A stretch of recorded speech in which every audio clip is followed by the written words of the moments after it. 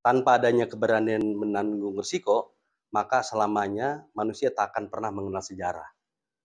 Kaitan dengan uh, pembangunan di Kabupaten Tangerang, uh, maka tanpa kita menyesuaikan dengan perubahan pola hidup uh, dari kultur, apa, uh, dari agraris, kemudian uh, trading, kemudian ke industri, khususnya di juga di Kabupaten apa di khususnya di Tangerang Utara ini, uh, maka tanpa punya keberanian kita menerima dan menyesuaikan beradaptasi dengan uh, perubahan pola hidup, maka selamanya uh, kita di khusus di utara ini tidak akan pernah mengenal Tangerang Utara yang uh, masif dengan pembangunan-pembangunan berbasis industri, berbasis pariwisata, kemudian ber, berbasis eh, edukasi, eh, berbasis eh, pemberdayaan masyarakat.